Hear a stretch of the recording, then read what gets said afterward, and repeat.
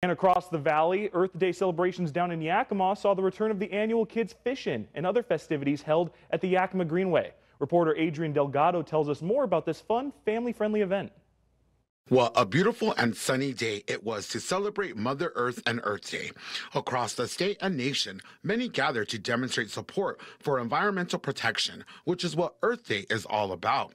And in Yakima, it was the annual Kids Fishing and Earth Day celebration held at Sarg Hubbard Park in the Yakima Greenway. This free event aims to raise community awareness about environmental issues. We do a lot of educational stuff for kids, for youth, and we do events to get them outdoors and to learn how to fly fish. And we even teach a little woolly bugger fly tying class.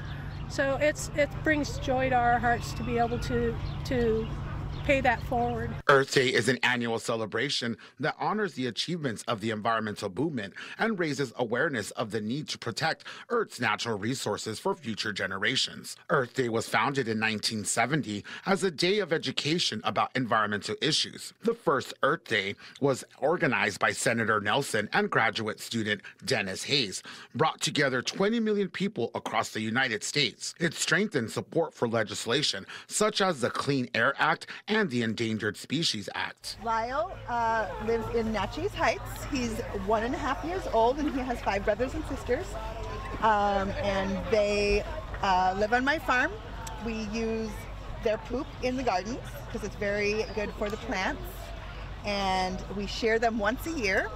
And his shear date this year is June 1st. So they'll take off his blanket at the Kids Fishin' and Earth Day Yakima, families and guests were able to interact with featured exhibits, art, and activities designed to educate and engage visitors about how individuals, families, and businesses can contribute to protecting the earth. Plus, registration was open for a kids Fish fishing, where kids from ages 5 to 14 got a 45 minute fishing lesson along with a fishing pole they got to keep. Oh, this is one of our favorite events. Um, we have two favorite, and this is top top. And it's just being out with the kids and getting kids involved in the outdoors. And what better way than fishing, just like I started when I was four years old with my dad getting me a pole.